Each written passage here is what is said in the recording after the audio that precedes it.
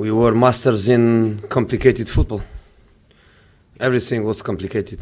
Uh, we couldn't play fast. We couldn't sing fast. Everything was complicated.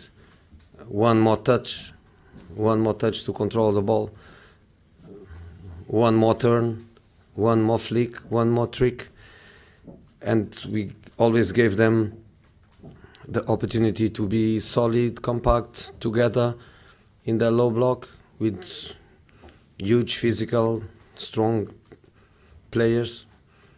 They always had time to organize themselves. When we had the ball, we want to run with the ball, we want to dribble and dribble, and everything was, was complicated.